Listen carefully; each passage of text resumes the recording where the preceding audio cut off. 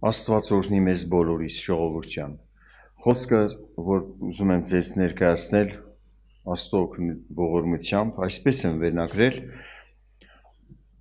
Աստծով առաջնորդվողը ապահով է։ Մեկ համար հատված կարդամ առաջին նամակը Թեսաղոնիկեցիներին, ուղված առաջին նամակը Թեսաղոնիկեցիների 5-րդ գլխի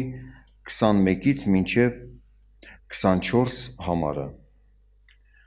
Ամեն բան փորձեցեք, բարին ամուր բռնեցեք, ամեն կերպ չար բանից հեռու կացեք, եւ ինքը խաղաղության Աստվածը ձեզ սուրբ անե բոլորովին, եւ ձեր բոլոր հոգին եւ շունչը եւ մարմինը անարատ պահվի մինչև մեր Տեր Հիսուս Քրիստոսի գալը։ Հավատարիմ է նա, որ կանչեց ձեզ, որ կանայել ուշադրություն դարձրեք առաքյալը համառոտ ցույց է տալիս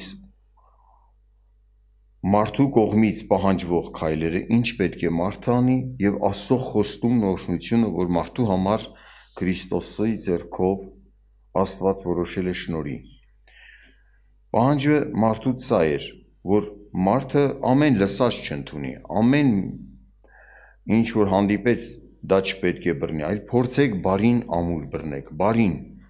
Բնականաբար, բարին Աստծո կամքն է, Աստծո խոսքով է հայտնի որն է բարին, որն է սուր, որն է Աստվածահաճո։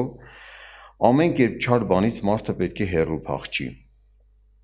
Մարդը իր հասկացողության չափով, իր ունեցած կրթության չափով քայլ է անում, մերժելու չարը, ընտրելու բարին։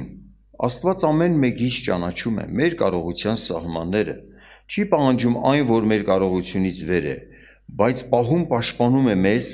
այն ժամանակ, երբ որ մենք խոսքի համեմատ ենք վարվում, փախչելով չար բաներից, մերժելով չարը, հետևում ենք Տիրոջ կամքին, բնականաբար այս խոստումն էլ այդ մարդու համար է։ Խաղաղության Աստվածը ձեզ սուրբ անե։ Տեսեք, խոստում սրբողը, Աստված ինքն է սրբողը, Սուրբան է, մեր բոլոր հոգին, շունչը եւ մարմինը։ Նաեւ ոչ միայն սրբացնե, մաքրե մեզ չար գործերից, սխալ խորհուրդներից, իր խոսքով մեր միտքը, մեր էությունը մաքրե, ոչ միայն մաքրել, սրբել է խոստանում, այլ խոստանում է անարատ պահել, միջև մեր Տեր Հիսուս Քրիստոսի գալը Եվ այսպես ասում. հավատարիմ է նա, որ կանչեց ձեզ, որ կանեել։ Ինքը ով մարդ, որ դու հանձնվել ես Տիրոջը, վստահիր նրան։ Նրանով առաջնորդվիր։ Նրա առաջնորդությունը քեզ համար հաջողություն է, օրհնություն է։ Մի հատված պետք է 5 տակարանյան բաժնից որպես օրինակ վերեմ եւ հետո նորից այս մտքին կանդրադառնամ որ մենք սա պետք է ավելին խորապես մեր սրտում դնենք։ Աստված, որ մեզ կանչել է, մեզ փրկության, կյանք է ապարգևել, թե այս կյանքում հաջողություն շնորի Աստվածահաճո անարատ ապրելու, թե հավերժ, հավերժական կյանքի մեջ մեր Աստծո հետ լինենք, ինքն էլ ապահով տեղ կհասցնի։ Ուղղակի սա է ասում. դու մերժիր չարը, բարին ամուր բռնիր, հետևիր Տիրոջ խոսքով Տիրոջը։ Աստված իր խոստումը ավարտին կհասցնե։ Այլ կերպ ասած, որ հայտնության գրքում առաջին գլխի 8-րդ համարում, որ Տեր Հիսուսը ներկայանում է Հովանես առաքյալին, այսպես ասում, ես եմ սկիզբը եւ վերջը։ Մեր հավատի սկիզբն էլ է ինքը դրել։ Ինքն է մեր միտքը բացել, որ կարողանանք հավատալ նրան, արժեքավորել նրա խոսքը, հասկանալ սուբ գրքի արժեքը, եւ հետևողը ապահով է լինելու Տերոշմով առաջնորդվողը ապահով է լինելու հաստատողն էլ ինքն է վերջն էլ է Տերը հաստատելու ուզում եմ կարդալ ձեզ համար Գեդեոնի կյանքից հատվածներ կան որ արագ կպատմեմ ժամանակ շահելու համար հատվածներ որ կա որ կուզեմ կարդալ Ուրեմն Գեդեոնի կյանքից պետք է օրինակ բերեմ, դատավորած գրքի 6-րդ գլխում մեկ առաջին համարից մինչև 6-րդ համարում համառոտ, ասեմ այսպես,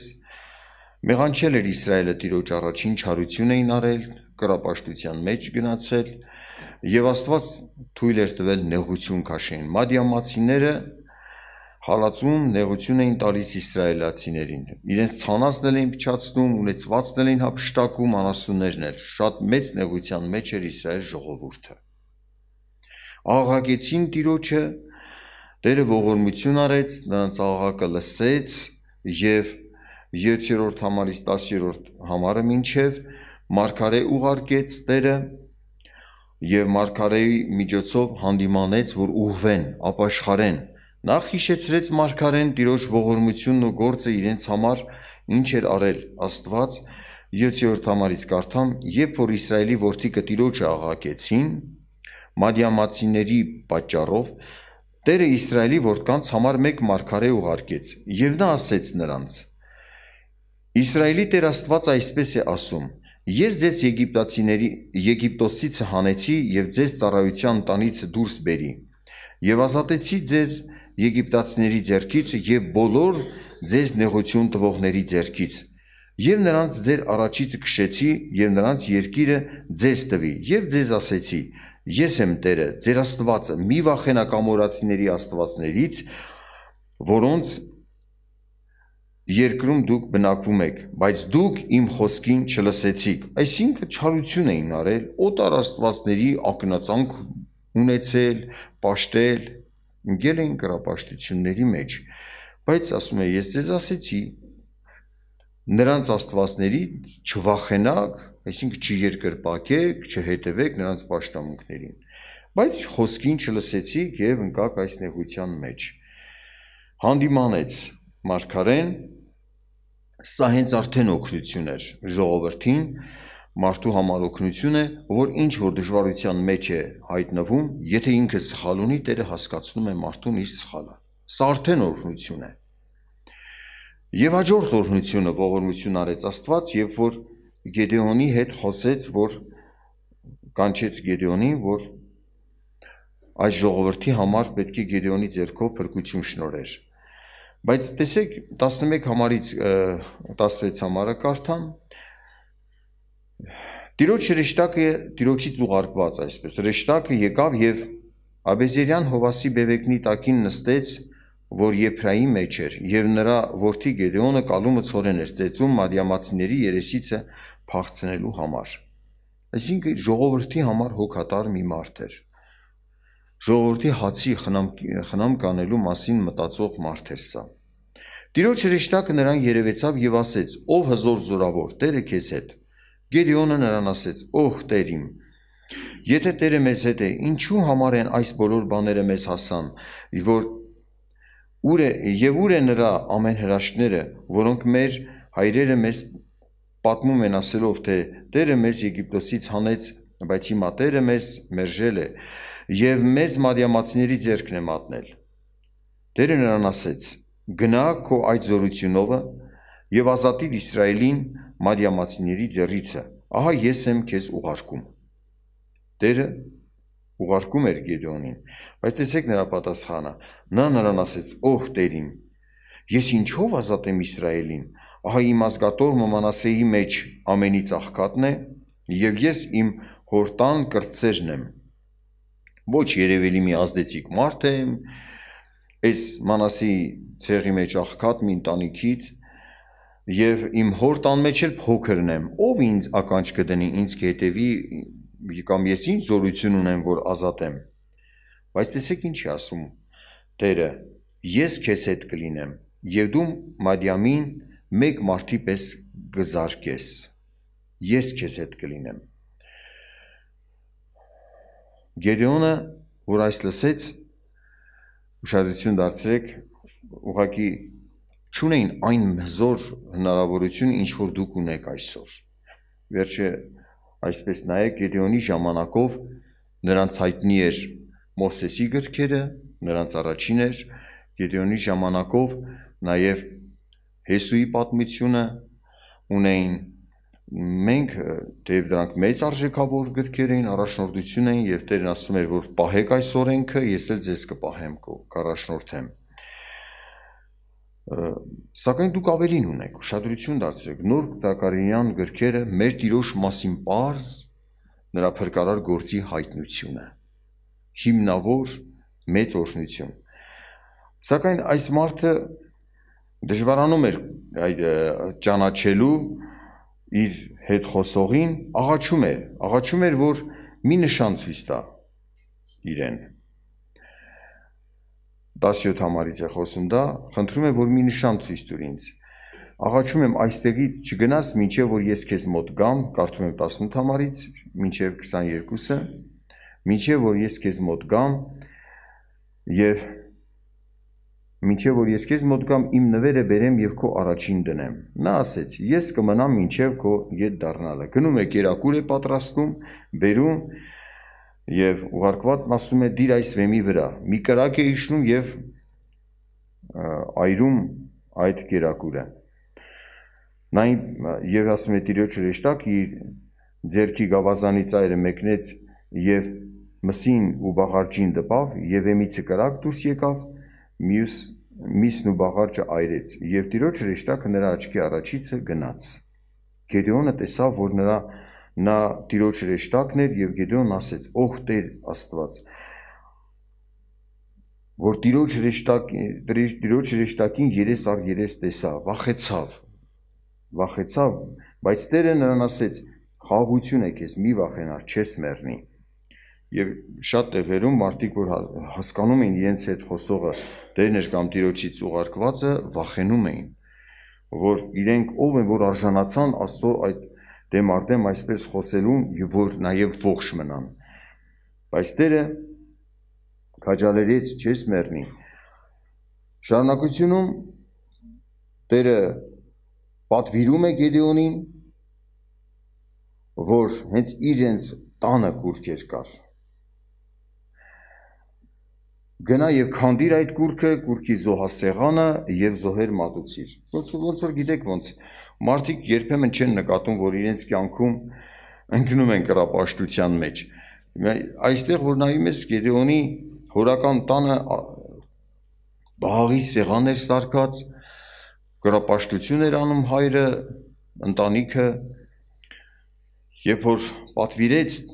Տերը որ գնա քանդիր այդ զոհասեղանը, վախեցավ, նա ցերեկով աներ, գիշերով գնաց քանդեց եւ տիրոջը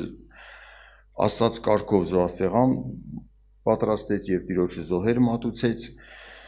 Մեր կյանքում գիտեք ինչին է նման դա, որ մարդը չի նկատում, որ կարող է հենց ինքնավստահության է անցել, հպարտության է անցել։ Սա էլ է մի կռապաշտություն, որ մարդը իր անձնապաշտությամբ ապրի, ու չնկատի դա։ Տերն նախ քեզ որպեսի առաջնորդի պետք է մաքրվես, սրբվես, մերժես այն չար խորհուրդները, պարտությունը, գորոզությունը, որ կարողանաս դիրուջ կամքը հասկանալ։ Դրանք լուրջ արգելքներ են։ Մարդու համար խանգարող բաներ են։ Այսպես կարող ենք ասել, որ Գեդեոնը գնում էր սրբության ընթացքի մեջ, սրբության ընթացքի մեջ էր։ Երբ որ քանդեց այդ ամենը, Համարձակվեց այդ քայլին գնալ, բաղի սեղանը քանդեց, մարդիկ առավոտյան եկան, տեսան այդ կրապաշտության այդ զոհասեղանը չկա, հասկացան, որ Գեդեոնն է, իմացան, որ Գեդեոնն է արել, պահանջում էին հորից, որ պիտի կարկոցենք, սպանենք այդ մարդուն։ Մեր զոհասեղանը իբրև թե աստուն բան էին անում, էլի, զոհեր էին մատուցում, պատիվ էին տալի, բայց հետարքիր է, որ հայրը հոր համար էլ դա օրհնություն եղավ, ասում է, եթե բաղը Աստված է, թող ինքն իր արդար իր պահի պաշտպանի։ Ինք Գերոնը քանդել է նրա սեղանը, թող բաղն էլ հելնի իր համար կանգնի։ Դուք եկեք էլ բաղին փրկեք, նրան պաշտպանեք։ Բայց Գերոն այս քայլերին գնաց չեր գուցե դա չէր պատկերացնի, որ ինչպես կփրկի իրեն Աստված, ինչպես հայրը կկանգնի իրեն համար։ Ի վերջո հայրն էր շինել դա։ Բայց հոր համար էլ օրհնություն եղավ դա։ Մարդու մտքից վեր է։ Երբեմն մարդիկ Աստվածահաճո քայլեր անելու համար դժվարանում են համարձակությամբ գնալ այդ քայլերն անելու, այն որ Տեսաղոնիկիցից նամ, նամակում կարդում ենք դու ամեն կերպ չար բաները մերժիր, Աստված քեզ ապահով կհասցնե։ Եվ քեզ կանչողը հաջողություն էլ կտա քեզ։ Սա է որ դու նրա առաջնորդությունը համարձակվես պահել, վստահելով նրան պահես այդ առաջնորդությունը։ Պահերը գալիս մեր կյանքում էլ դժվարություններ են լինում, ոչ բառացի այսպիսի նմանատիպ դժվարություններ, որ վտանգ է սպառնում կամ Աստծո կամքը, կամ խոնարհվես, պարտվես։ Բայց մարդը ճանաչելով իր Տիրոջը, որ հավատարիմ է նա, որ կանչեց եւ կհաստատի է, ավարտին կհասցնի իր սուրբ գործը։ Նա, որ այս սկիզբ իմ հավատքի սկսել է, վերջն էլ նրանով կլինի։ Հանձնվեմ Տիրոջը, վստահեմ նրան, Եվ Գեդեոնը այս քայլին գնաց ու Աստված էլ պահեց, պաշտպանեց։ Եվ հոր համար էլ օրհնություն եղավ այս քայլը։ Հաջորդ հատվածում 33 համարում համարից խոսում է, որ մադիամացիները, ամաղեկացիները եւ արևելքի բնակիչները մեծ քանակով ժողովուրդ հավաքվեցին զորքով, որ Իսրայելի դեմ կռիվ սկսեն։ Ուրեմն, որ հավաքվեցին սրանք 8-րդ գլխում խոսում է, որ 8-րդ գլխի 10 համարում առնվազն 135000 մարդ էին հավաքվել զորք, որ Իսրայելի դեմ պատերազմեն։ Գեդեոնն էլ Աստուծո առաջնորդություն խնդրեց եւ փող հնչեցրեց, այսինքն պատերազմի հրավերի փող հնչեցրեց։ Հավաքվեցին Գեդեոնի շուրջն էլ մարդիկ, Ուշադրություն դարձեք հետարքիր մեկ այլ քնություն, որ պիտի անցներ Գեդեոնը։ Հավաքվեցին, ուղղակի գիտեք ինչ, նորից Գեդեոնի համար մի դժվարություն էր, որ գիտեք պատերազմի պիտի գնա։ Շատ մարդկանց կյանք է վտանգի դրվելու։ Նորից Աստուծո ողորմություն էր խնդրում առաջնորդություն մի նշան ցույց տա։ Ասում էր 2037 համարում ասում է մի բրթի գղատ, այսինքն բրթից մի բան դնում է ամանով մի տեղ, ասում է Տեր, լուսաբացին թող նշան լինի սա։ Եթե այս բրթի այս դրվածս թրջվի, խոնավ լինի, ցողը թրջի, բայց կողերը չոր լինի, հասկանամ, որ դու ես ինձ առաջնորդելու այս պատերազմում դու ինձ հաղթություն կտաս։ Էնպես չի, որ ես առանց քեզ կգնամ պատերազմի, այս ժողովրդի կյանքը վտանգի դնեմ։ Առավոտ եղավ, տեսավ իրոք այդպես էլ եղել էր։ Մեծ քանակի ջուր կար այդ բրթի մեջ, բայց կողքերը ամբողջ չոր էր։ Նորից է խնդրում։ Հիմա էլ հակառակը, թող Տեր մյուս լուսաբացին ասում է, Տեր դու չբարկանաս ինձ վրա։ Մարդի հաշվի առնում մարդու տկարությունը Տերը հաշվի առնում, որ դժվարանում է համոզված լինել։ Ասում եմ հիմա այլ հակառակը, եթե չոր լինի այս բրթից դրվածս, բայց կողքերը թած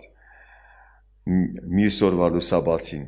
հաստատ կհամոզվեմ, որ դու ես ինձ առաջնորդելու եւ ինձ հաղթություն կտաս։ Թույլ է տալիս Աստված։ Եվ այդպես էլ լինում էր։ Ուշադրություն դարձրեք մեզ համար մեծ մեծ նշանը հենց Հիսուս Քրիստոսի մահն ու հարությունը։ Երբ որ ասում է հավատարիմ է նա, որ կանչեց եւ կանել, հաղթություն էլ կտա։ Նա մեռավ մեզ համար։ Իր անձը դրեց մեր փրկության համար։ Արթարը մեռավ մեզտեղ։ Սակայն նա չմնաց մահվան բանտում։ Մահվան բանտից դուրս գալը մեր փրկության երաշխիքն է Աստծո խոստումներին մեր արժանացնելու երաշխիքն է, որ ավարտին կհասցնի այն սուրբ գործը, որի համար մեզ կանչեց Տերը, դրա երաշխիքն է։ Քրիստոս մահվան հաղթեց։ Սա մեզ համար մեծ վկայություն է, հաստատում։ Եվ մենք ունենալով Քրիստոսի փրկagorցությունը մեր աչքի առաջին, մեզ սրտում Տիրոջ մահն ու հարությունը, որ Տերը մեզ մեկացավ, համարձակություն ենք ունենում մեր կյանքը հանձնել Տիրոջը։ Մեր կյանքի ամենադժվար պահին Աստծո խոսքով առաջնորդվել։ Եթե նույնիսկ այդ խոսքը պահելու համար վտանգ սպառնի, թող Տերը մեզ օրհնի։ Այսօր թող Տերը մեզ համարձակությամբ լցնի, վաղվա օրվա համար է, չգիտենք ինչ կհանդիպի մեզ։ Աստված զորացնի հաղթական լինենք։ Հաղթող լինենք, հավատքով ապրենք, Տիրոջ առաջնորդությունը չկորցնենք, չմերժենք։ Տերը մեզ առաջնորդի։ Մի բան գիտես, որ նա որ առաջնորդում է քեզ, քո սկիզբը նրանով է հավատքից սկիզբը, փրկություն, կյանք ունես, ապագա ունես։ Հանդիպած դժվարություններին չես շփոթվում։ Աղքատություններ է հանդիպել ինձ։ Մահվան վտանգներ էլ, սոսկալի հիվանդություններ էլ, անքուն եմ ապրել ամիսով, հիվանդ պահել տարիներով, որ ես տեսնում եմ, ես ուժ չունեմ, ես աղակում եի, Աստված ինձ ուժ տա, իմ կնոջս ուժ տա, որ կարողանանք դա անել, չտրտնջալ, չթուլանալ, չնեղվել։ Սա ենք աղաղակում, Տեր սովորեցրում ես ինչ ունենք հասկանալու այս դասերի մեջ։ Հասկանում եմ պատահական ոչինչ չի հանդիպի մեզ։ Դու սրբում ես, խրատում ես, զորացնում ես, թող դա լինի ինձ կյանքի համար փորձ, դաս։ Եվ օրհնում էր Աստված։ Անկեղծ ասած, որ հետ եմ նայում, ասեն կուզենաս նորից հանդիպեր այդ նեղությունը, որ հիշում եմ ինչ նեղություններ էր, ոյ դժվար էր, բայց Փառք Աստծուն, որ հանդիպեց այդ նեղությունները, շատ բան սովորեցի այդ նեղությունների մեջ ժողովուրդ ջան։ Գեդեոնին էլ հանդիպում է լուրջ դժվարություն, ուշադրություն դարձրեք։ Հեշտ չէր։ Այնպես որ չդատենք, ինչու ես դու նշան ուզում։ Մեղա չմեղադրենք Գեդեոնի, որովհետև լուրջ դժվարություններ նա առաջին։ Տեսեք, 7-րդ գլխում ինչ է կատարվում։ Հերոբաղը, այսինքն Գեդեոնը եւ նրա հետ եղող բոլոր ժողովուրդը կանուխ վեր կացան եւ բանակվեցան Հարոդի աղբյուրի մոտ։ Եվ Մադիամի բանակ բանակը նրա հյուսային կողմներ դեպի Մորեի բլուրի հովիտի մեջ եւ Տերը ասեց Գեդեոնին. Քեզ հետ եղող ժողովուրդը շատ է շատ են ասում քո հետ եղող ժողովուրդը, որ ես Մադիամը նրանց ձեռքը տամ, միգուցե Իսրայելը ինձ դեմ པարծենա ասելով, թե իմ ձեռքն ինձ ազատեց։ Այսինքն Տերը ճանաչում էր ժողովրդի հոգևոր աճը։ Դրա համար մեկ եւս մի քնություն դրեց նրանց առաջին։ Տերը գիտեր, որ ինքն է միևնույն այս պատերազմը հաջողող հաջողել տվողը։ Տերն էր այս պատերազմը կառավարողն հաջողություն տվող, սակայն նային իրենց թվականակին իհարկե 32000 հոգի էին հավաքված, բայց ճշնամու բանակը դե մի քանի անգամ մեծ էր, բայց միևնույն է դուք շատ եք։ Էլի կհպարտանաք, ձեզ կվերագրեք փառքը։ Դա տկարություն է։ Սակայն Աստված հասկանալով դա ոչ թե դատում է, այլ ուզում է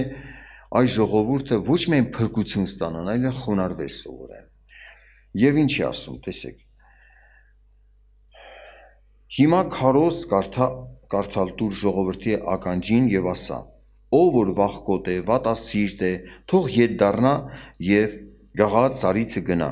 եւ ժողովրդիցը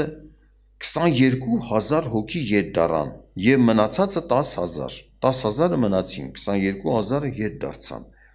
Իրենց սրտները քննեցին, տեսնում են իրոք վատասիրտ էին, թույլ էին, շատերը վախեցան եւ ետ դարձան։ Հետարքիր է։ Վախը սրտներում ժողովուրդը էլի կարող է հաջողության դեպքում իրենց վերակրեին բարձենային։ Բայց այդ պահին իրականում վախ կար փաստորեն սրտներում։ 10000-ը մնացին եւ Տերն ասեց Գեդեոնին. ժողովուրդը տակավին շատ է Ջրի մոտ իջեցրու նրանց եւ այնտեղ քեզ համար նրանց փորձեմ եւ որի համար քեզ ասեմ թե սա քեզ հետ գնա նա քեզ հետ թող գա եւ որի համար քեզ ասեմ թե դա քեզ հետ չգնա նա թող չգնա եւ նա ժողովրդին ջրի մոտ իջեցրեց եւ Տերը Գեդեոնին ասեց ով որ շան լակելու պես ջուրը լեզվով լակե նրան առանձին կանգնեցնես եւ ով որ էլ խմելու համար իր ծնկների վրա կորանա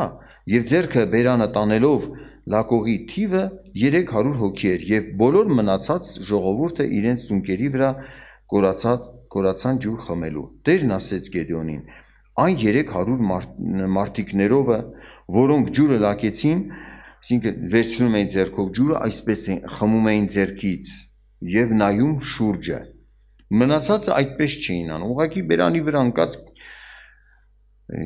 այդ գետից ջուր խմեցին։ Իրեն շուրջ չէին նայում։ Պատերազմի մեջ կանչվածները իրեն շուրջ չէին նայում։ Այդ 300-ն էր, որ ուրشادիր էին, հետևում էին իրեն շուրջը նայելուն։ Ոչ միայն անվախ պիտի լինեին, նաև արթուն լինեին, իրենց կող գնային։ 300 հոգին էին, որ ընտրեց Աստված Գեդեոնի հետ պետք է գնան այս պատերազմի։ Ասում է եւ ձեզ կազատեմ այսքանով ասում է. Մադիամը քո ձեռքը պիտի մատնեմ, բայց բոլոր ժողովուրդը ամեն մարդ իր տեղը գնա։ Քանի որ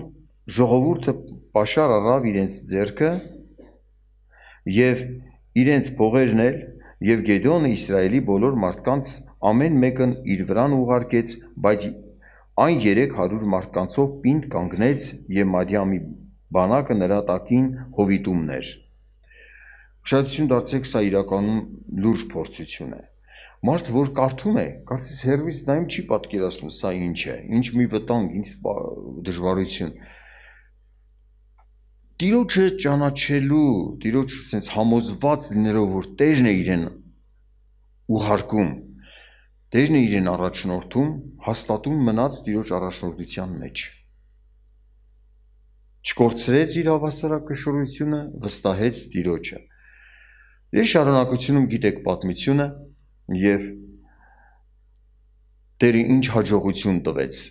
Այս 300 հոգին փողեր ունեին, որ վերցրեցին, որ պիտի բարձր փչեին, երբ որ հրաման լիներ, եւ գուժեր ամեն մեկ իրենց ձեռքերին, որոշված ժամանակին պետք է կոտրեին այս գուժերը մի մեծ դղրդոց եւ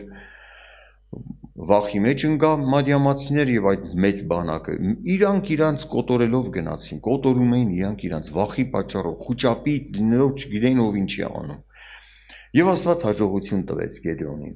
սակայն ուշադրություն դարձրեք տիրոջ առաջնորդությունը պահեց Գեդեոնը որտեղ վստահ էր որ Տերն է իրեն առաջնորդել տիրոջ կամքի համեմատ է իր քայլերը կատարում ժողովուրդ ջան Սա էլ իրեն համար ապահովություն եղավ։ Իսրայելի համար փրկություն եղավ։ Մեր կյանքում էլ այլ այսօր այսպես պետք է լինի։ Շատ բաներ մենք Աստծո խոսքի համար համեմատ որոշում ենք կայացնում եւ ինչ որ դու համոզված տեսնում ես Աստծո խոսքի համեմատ է քո քայլերը, քո ծրագրած գործերը, հավատում ես, որ հաղթանակի էլ կհասնես։ Կյանքում շատ հարցեր կան, որ մենք որոշումներ ենք կայացնում Սկիզբը Տերով արա։ Ինչ որ որոշում ես Տերով արա։ Աստով քո որոշումը կայացրեցիր, հավատում ես, որ հաղթանակ կլինի։ Նմանեցնեմ սա նրան, որ մեկը ուզում է օրինակ մի երիտասարդ ընտանիք կազմել։ Ասում է Տեր ջան, ես ամեն բան մարդու դիմացինին ճանաչել չեմ կարող։ Սիրտ երիկամուն քննող չեմ։ Բայց Աստծո խոսքի համեմատ իմ քայլերս, առաջնորդությունս կատարելու համար ինչ եմ նայում, այն չափանիշները, ինչ որ Աստված է Աստվածահաճո մարդու գնահատական տալիս։ Մարդը լինի ապաշխարած կամ հետևող, ընտրած Տիրոջը, Աստվածավախ, որի հետ ես կարողանամ կյանքի ճանապարհ անցնել։ Առաջին գնահատականը սա է մարդու համար, չէ՞։ Այսինքն Տերով առաջնորդված իր քայլերն անի։ Երկրորդ, էլի հարցեր կան, որ մարդը օրինակ ընտանիք կազմելու համար հարցեր կա որ նայում ես սակայն առաջինը դիմացինի աստվածավախ լինելն է ուզում տեսնել ապաշխարած լինելը արդյոք մենք իրար հակառակ չենք գնալու կյանքի ընթացքում եթե կյանքի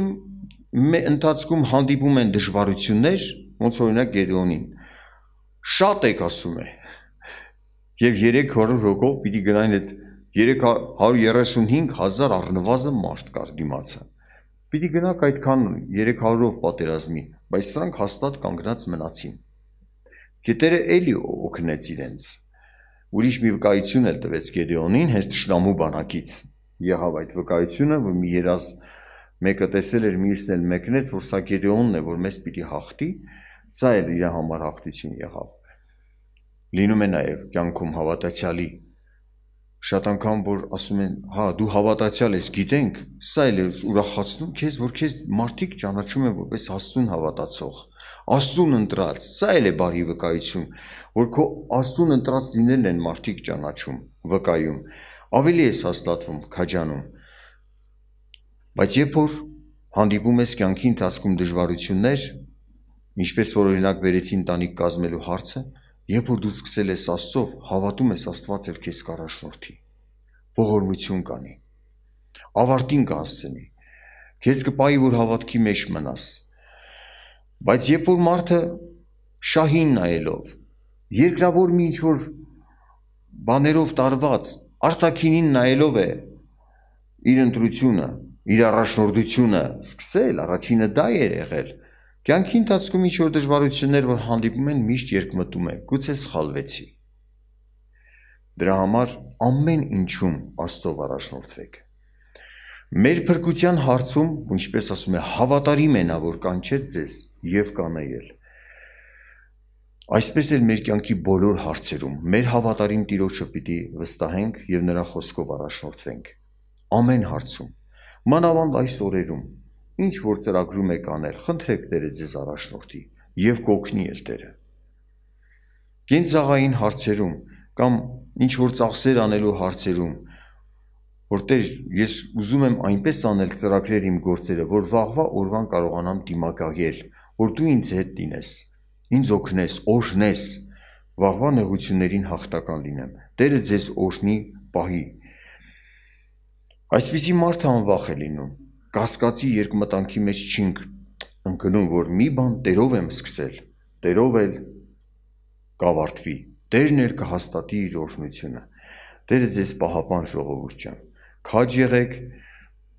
այն հարցում, որ ամեն ձեռնարկությունները ինչ որ անեք, փնտրեք Տիրոջ առաջնորդությունը։ Դուք ապահով կլինեք։ Այսքանը։ Տերը ձեզ պահապան։ Աղոթքանենք Օրհնի մեզ Աստված մեր կյանքի ամեն հարցերում իր առաջնորդությունը ունենանք բոլորս էլ։ Աստծո զավակներ, Աստծո ծառաների հետ խորհրդակցությամբ կյանքի այն լուրջ հարցերը կարողանաք որոշել կայացնել։ Տերը ձեզ պահապան։